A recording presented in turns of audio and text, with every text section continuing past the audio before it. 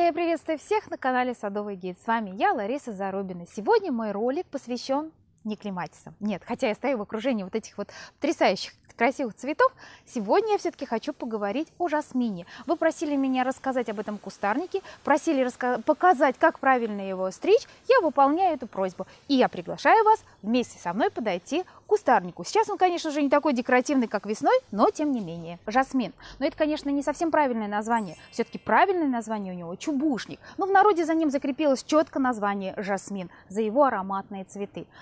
Садовый жасмин – это, наверное, более правильное название.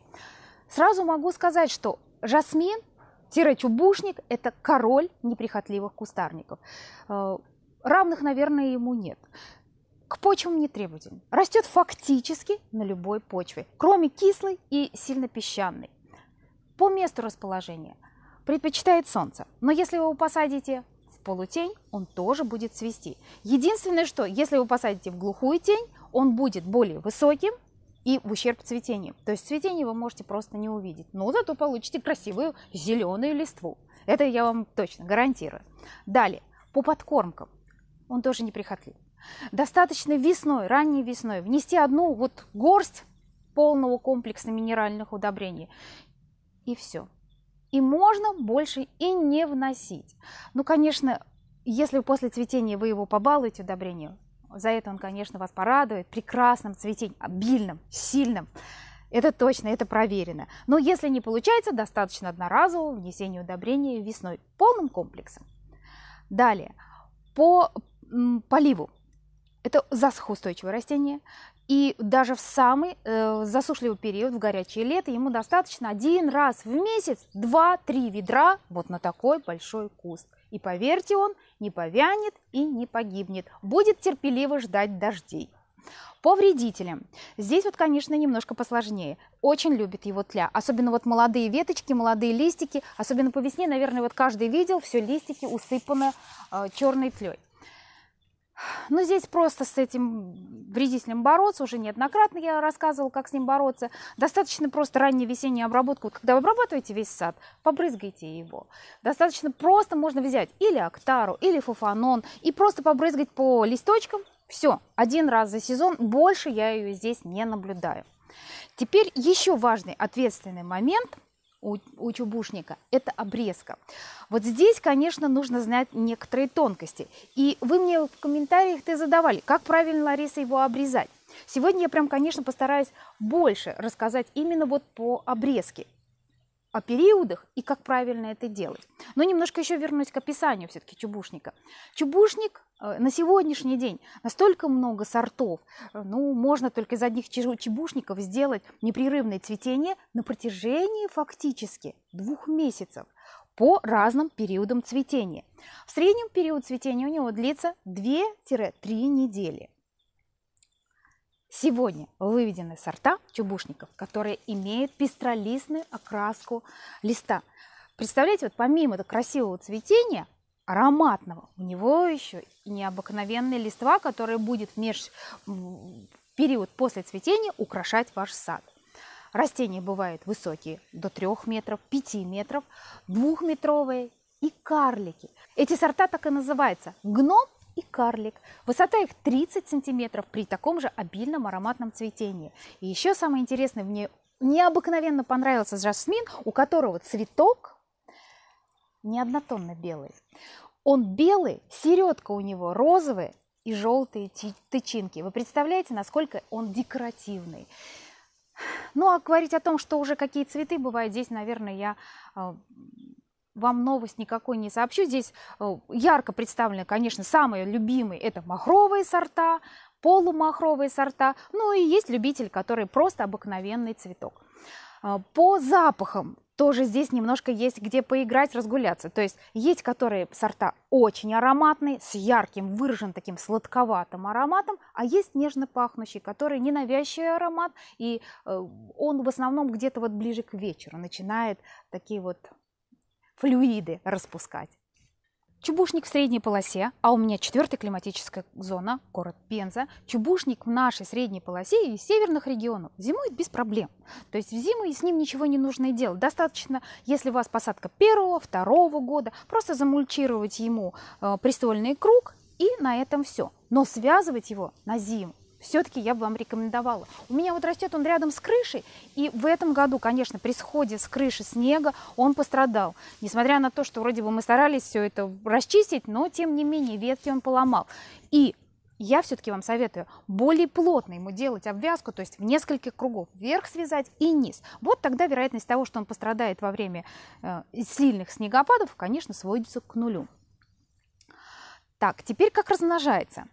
Этот вопрос тоже задавали. Скажите, Лариса, как его черенковать? Черенкуется он хорошо. Можно черенковать зелеными молодыми черенками, не адресневешими, прекрасно черенкуется. Можно делать отводками, но отводками здесь есть одна хитрость. То есть если вы запланировали, к примеру, на следующий год сделать э, много отводков, тогда какую-то одну ветку выбираете, отрезаете ее на высоту 60 сантиметров. За лето будет образовываться новая молодая поросль. На следующий год вы ее надрезаете кору с нижней стороны и прижимаете к земле. Пришпиливаете, и вот вместо пришпиливания присыпаете землей. Все, этого достаточно, она у вас будет образовывать корешки вот в этом месте. Можно, если у вас поросль молодая растет прямо-таки из-под земли, точно так же наклонить ее, присыпать, пришпилить, и за сезон она у вас укоренится. Укореняется очень хорошо вот именно молодая поросль. Можно также размнож... размножать э, чубушник молодыми отросточками с пяточками. Что такое с пяточкой? Вот смотрите, вот узел. Если я его так сейчас отломаю, я сейчас все равно его буду стричь, буду вам показывать. Посмотрите, вот здесь ветка и немножко коры взята. Вот с корой. Это вот и есть пяточки. Ну а как укоренять с помощью чего? У нас на канале есть ролик, где я рассказывала о биостимуляторах, которые можно приготовить своими руками, и с помощью которых можно прекрасно укоренить любые черенки. И как укоренять? Способ точно такой же, как и при укоренении гортензии, как я вам показывала. Так что, кто не видел, ссылка вот здесь на все эти два ролика. Пожалуйста, посмотрите. Так, теперь про еще один способ, как можно его размножить. Путем деления куста. Но это, конечно, более трудоемкий способ, но тоже очень эффективный. Если у вас слишком большой куст, с помощью мужчины вы можете его разделить и рассадить по разным частям сада. Так, теперь про обрезку. Обрезка – это важный момент а, формирования кустарника. Дело в том, что вот посмотрите, вот у меня два чубушника, вот я сейчас отойду, и вы на него пристально посмотрите. То есть изначально чубушник растет неправильно. Он всегда какой-то однобокий. Что вот этот чубушник, что второй чубушник, который вы видите. Все они растут однобоко, в какую-то одну сторону. И если такие кустарники не стричь, не формировать, в результате получается полная ерунда. Однобокий, лохматый, неоформленный куст. И самое главное, что он будет образовывать каждый год молодой прирост, куст будет загущаться, ветки, которые двухгодичные, трехгодичные, вот посмотрите, они становятся лысые, цветение наступает только на верхних частях. В результате вы будете иметь голый куст, будет наверху небольшая кучка э, вот этих вот веток кудрявых, и, в общем-то, скудное цветение. Почему скудное? Когда куст сильно загущен, растение пытается вот прокормить вот эту всю зеленую массу в ущерб цветения. Цветение лучше образовывается и цветут побеги первого года, второго года, а третьего, третьего года, вот я их вам покажу, они уже, вот эти, посмотрите, они уже становятся лохматые, ну как метла. Их много вот разных побегов, и цветение на них вот только на тех вот верхних веточках, которые образовались после стрижки. Что я сделала в прошлом году? Он у меня пострадал в прошлом году тоже от снега. И я вырезала вот здесь часть. Он мне дал побеги вот молодые. И они-то вот э, дали разветвление. То есть я их еще прищипнула. Они дали весной разветвление. Вот они-то и зацвели. То есть вот эта вся часть страшные голы. Поэтому нещадной рукой вырезаем. Ну, конечно, не в один год. Если вы сделаете в один год, то на следующий год у вас цветения не будет. Кустарник будет просто восстанавливаться. Цветение наступит через год. Желательно это делать процедуру ежегодно, вырезая побеги третьего, четвертого года. И вырезать мы их будем. Можно вырезать их под корень, то есть на пень, а можно оставлять побеги а, длиной 50-60 сантиметров. И от них начнут образовываться новые побеги. И вы получите в результате, снизу у вас будет куст, который имеет как будто бы ножку и большую э, шапку сверху. Это красивое зрелище, и получается, в общем-то, он очень оформлено правильно. Теперь, когда делают обрезку, и какие виды вообще обрезки бывают? Первая обрезка – это весенняя обрезка, она называется санитарной, когда мы удаляем все подмерзшие части, которые у нас не вывзревшие побеги подмерзли, или как у меня снегом сломал. Это весенняя обрезка. Делают ее до зеленого конуса. Только вот чуть по почки показались, вот самое время делать эту обрезку. Это санитарная. Дальше летняя обрезка. Ее делают сразу после цветения. Сразу хочу сказать, вот растение отцвело, дайте ему неделю на восстановление, и после этого сразу приступайте к стрижке. А, главное нам успеть до 20 чисел июля. Ну, это вот так вот условно, конечно. Но если не получилось, ну, ничего страшного, чуть побольше. Но все равно успейте в июле месяце постричь. Если в августе, то лучше уже не делать никакой стрижки. Оставьте тогда эту всю процедуру до весны. После стрижки обязательно сделайте все-таки подкормку. Ну, все-таки растение действительно для него это стрессовая ситуация. Хоть я и сказала, что можно, конечно, обойтись одноразовым внесением, но если вы все-таки сделаете особенно кардинальную стрижку, тогда подкормите полным комплексом. Достаточно прям вот одной горсти сухих, можно даже сухих, разбросать по э, приствольному кругу и пролить водой. Какую цель мы еще преследуем летней обрезки? Конечно, убираем все вот эти отцветшие веточки, чтобы растение не тратило силы на образование семян. Это первое. Второе. Формируем куст, делаем его красивый. Чебушник очень отзывчив на стрижку, он любит стрижку, поэтому не жалейте его, стригите, удаляйте тоже и трехлетние побеги. Также еще летом мы удаляем всю ненужную поросль, вот, которая образовалась у вас, и она вам не нужна. Вырезаете ее тоже сразу после цветения. А, и Последняя, третья обрезка – это омолаживающая. Мы ее делаем осенью, после листопада.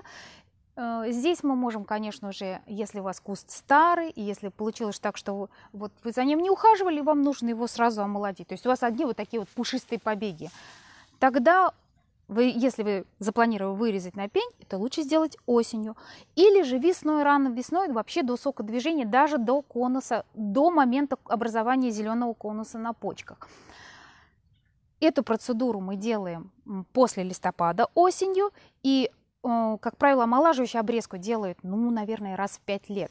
Часто, часто делать такую процедуру точно не нужно, особенно если вы с периодичностью вырезаете старые побеги. Сейчас я приступаю к обрезке. Что я буду делать? У меня есть вот однолетние побеги, двухлетние побеги. Вот этот двухлетний побег, он молодой, и по нему видно, что вот идут такие веточки.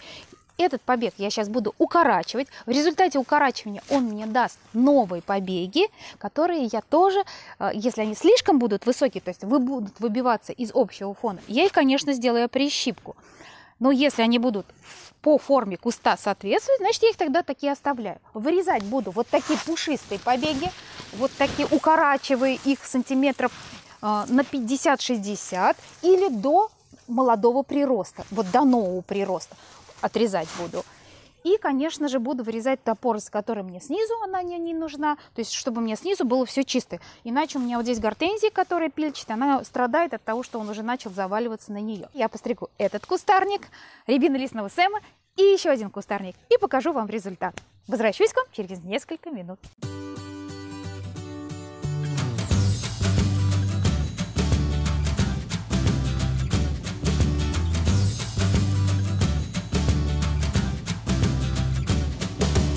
Все веточки, которые идут в перекрещивание, которые трутся друг друга, точно так же, как при плодовых деревьях. Если даже это одна новые побеги, вырезайте, чтобы внутри куст не загущался. Это очень важно. Я уже сказала, что это напрямую зависит будет от этого цветения. Вот она, старая ветка. Два новых молодых побега идут. Вот эту старье я вырезаю.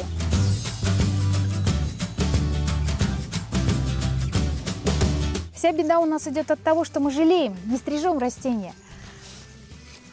А это обязательная процедура. И эти побеги, которые цвели в этом году, Не цветущие я удаляю, а эти, которые укорачиваю.